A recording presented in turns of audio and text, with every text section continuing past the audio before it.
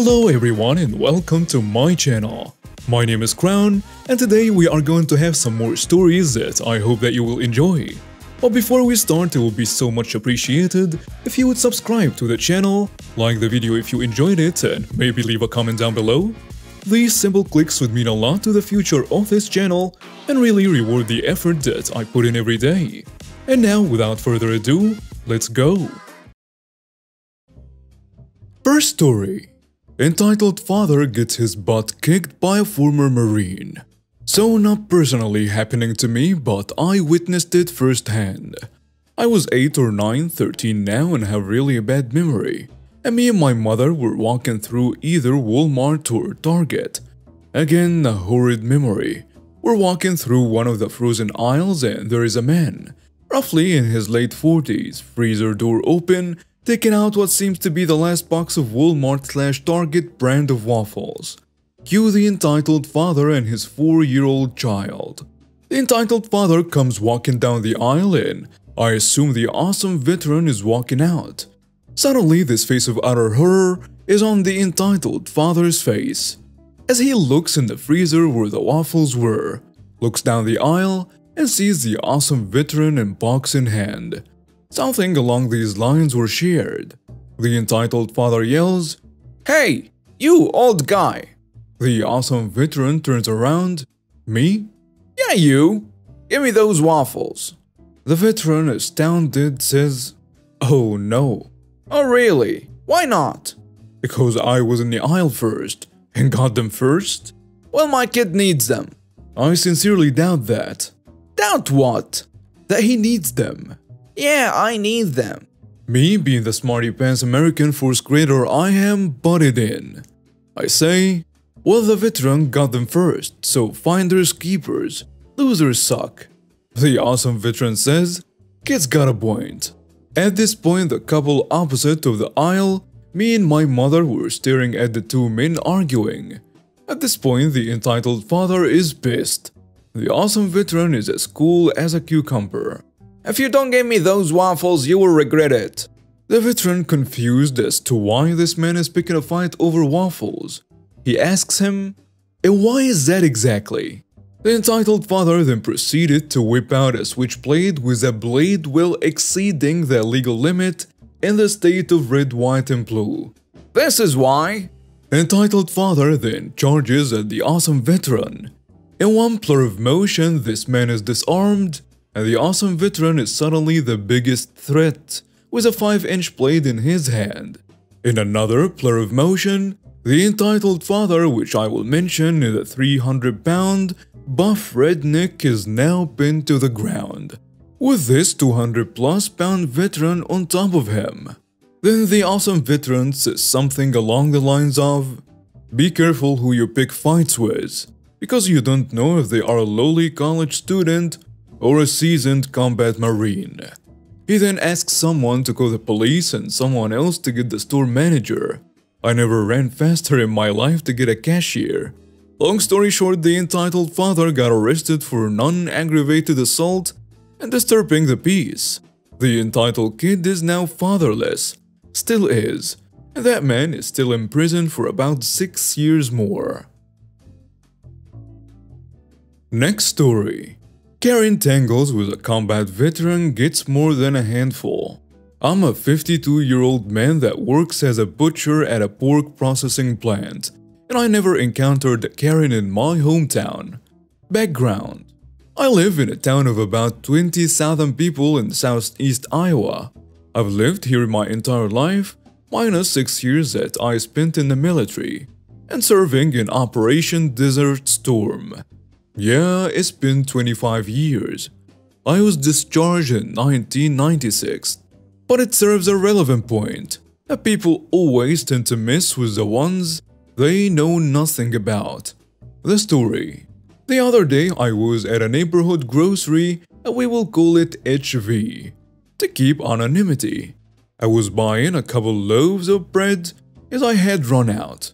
Now at HV their work uniform is red polo shirt with the company name embroidered on the left breast area in white, khaki or black pants.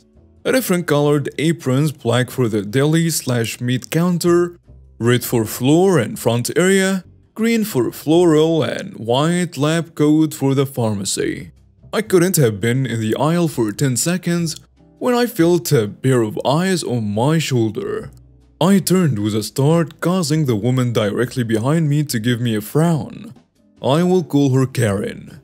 I tell her, you know, you shouldn't stand behind people like that. You don't know how they will react. I need your help. Stupid me didn't register the way she said that, which should have set off the alarm bells. Now there are people out there that state their anger is on a short fuse. I don't have a fuse. I have a button. Push it, and it's Armageddon. One thing I do have to admit though, I've been pretty good at keeping it suppressed. I'm usually very level-headed, I mean not had enough violence in my life, I would give anything if I could just live in peace. I tell her, if you want help, you should ask one of the employees. I am. Huh? The realization suddenly hits me like a tank. And then she's talking to me. Ma'am, I don't work here. I was wearing a black t-shirt, black cargo pants, black socks, and black sneakers. There was nothing about how I was dressed that said I work here. However, Karen must have been blind as well as deaf. Don't lie to me! You work here! By this time, I can feel myself starting to lose control. This insufferable oaf was wearing my patient's sin. What about my clothes says I work here? You're wearing an employee uniform. You need to help me. Now! Oh, bad move, Karen. Now I'm about 6 foot 1, weigh about 210 pounds. I'm not a small guy, and my voice is fairly deep, meaning when my volume goes up, I can get very intimidating. So much so I've made more than a few scared of me. And at this point, manners have gone out of the window. I'd had enough. Me matching shrill scream with booming growl. What part of I don't work here do you not understand, you irritating pencil neck? After Karen loses a surprised look on her face, she pulls up her fists. And she gets this I'm going to kick your butt look. I see this and at the same time, I notice a couple of employees behind me so I returned her look with a go ahead and try it look. I tell her, fair warning, you swing on me like a man, you better be prepared to take a bunch like a man. Well, Karen relaxes her hands. Then she hauls off and slaps me across my face, knocking my glasses off and scrubbing the bridge on my nose. It did bleed a bit, but the kicker was she was laughing. Apparently Karen must have thought I wouldn't do anything. However, she got tangled with the wrong guy. She turned to look at me and I put her on her butt with a slap across her face. I tell her, I warned you. Karen decides to play her trump card. I'm going to have you arrested. I smiled wildly and pointed to the security cameras installed in the ceiling to each end of the aisle. I tell her have a nice day witch. I grabbed my two loaves of bread and walked up front to bay while Karen was frog marched to the cop car after the cops cuffed her up and made the arrest. I found the next day the grocery store decided to suspend her from the establishment for 30 days. Sucks to be her. Next story. Entitled Woman tells us the food was horrible after she ate it all. I was recalling some crazy stories about my time as a waitress when I was working at Saltgrass Steakhouse and thought I'd share. Maybe share some more stories about the choosing beggars you will always encounter in the restaurant business, but I like this one particularly for how my awesome boss handled it all. This was a few years ago and I have been at this particular restaurant for a little over a year at this point. I never had a wrong order and knew the menu like the back of my hand, and I really loved working there, since it was more pricey than some places, so it tended to attract better tippers. It was close to the end of my shift as a couple walked in. My replacement wasn't there yet, so I thought why not? One last table for the day.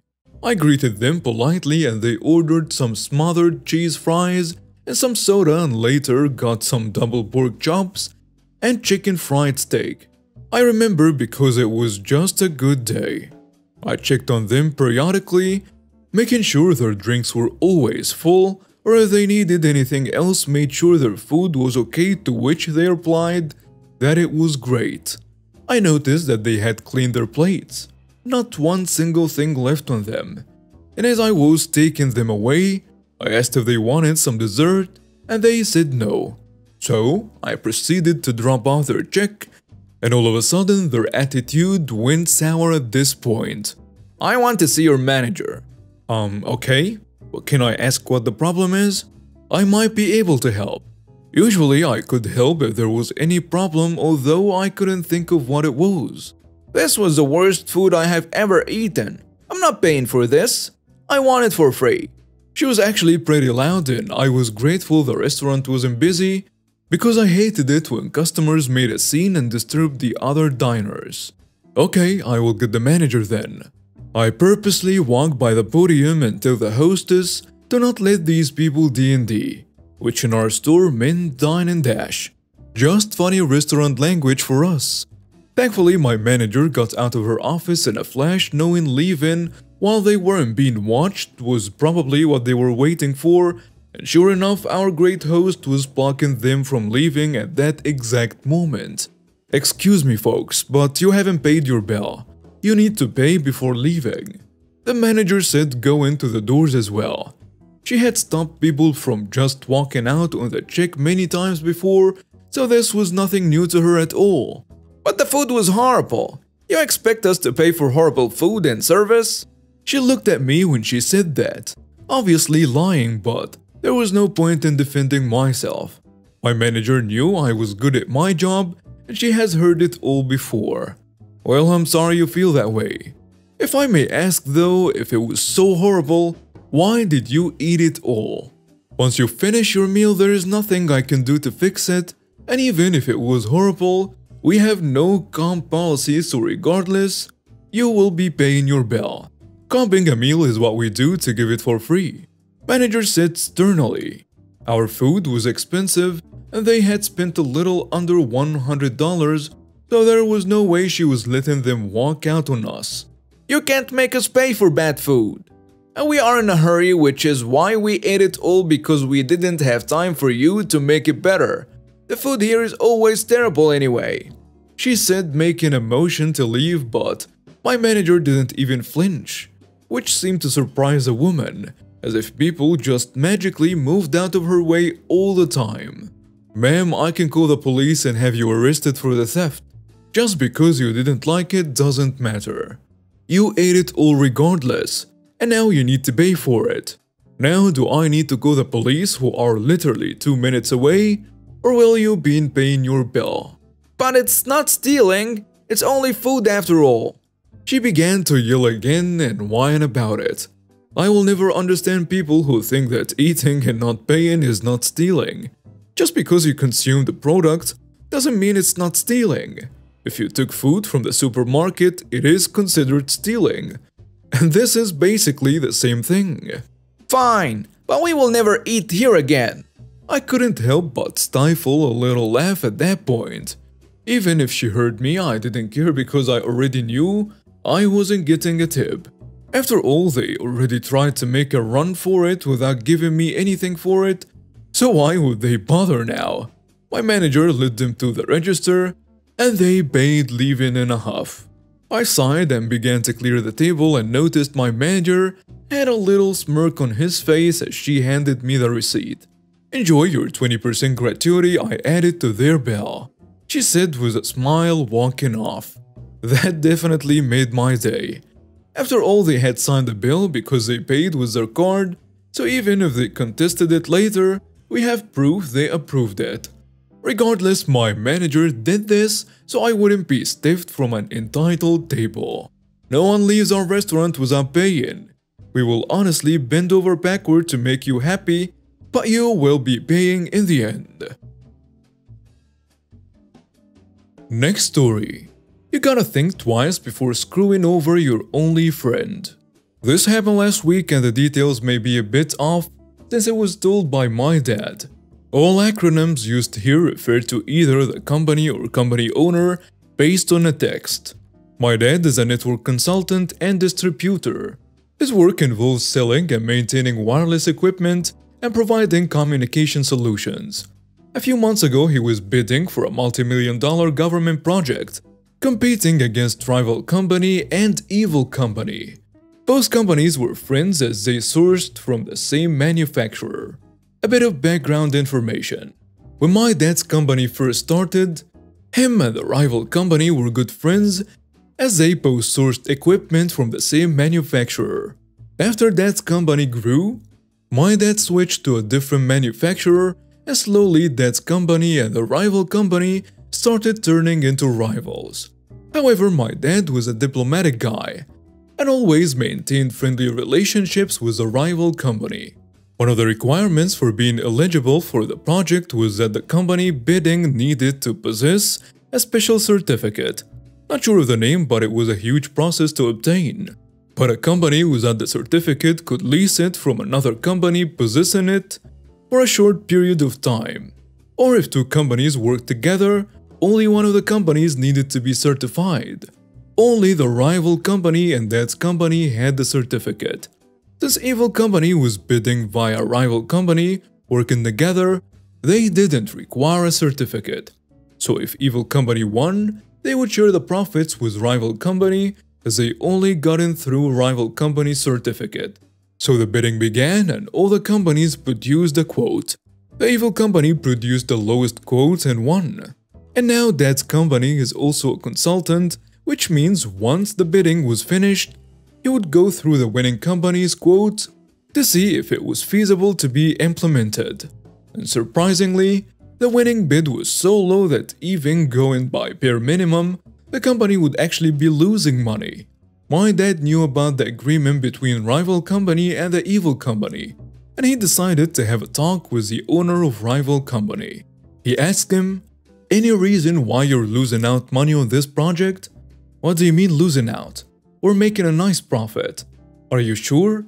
You might want to take a look at your bid over here. Um, this wasn't what we agreed on. Hold on. I need to check. The rival company's owner called back a few hours later. He tells Dad, I can't reach my partner. He's in a meeting. Dad tells him, You have a bigger problem to deal with right now. The bid has no mention of your company. He's taking it on as a standalone company.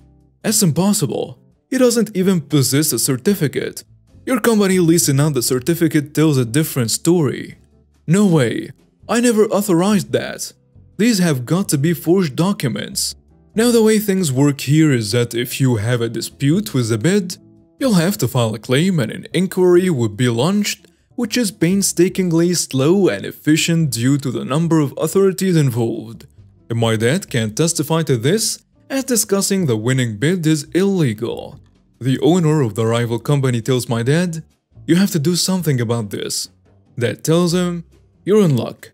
His equipment is not capable of providing coverage to the entire district, and it's really outdated. I'll bring this up in the board meeting. After that, my dad attended the meeting and brought up the problems in Evil's company equipment, which made the government official reject the Evil company's bid and hold a new project bid. This gave enough time for the rival company to file a report. The report went through. That company won the contract, yay! and the evil company was banned from participating in further projects. And a few charges were filed, I guess. And the alliance between the evil company and the rival company ended. And now we have reached the end of today's stories. Thank you for watching and see you next time.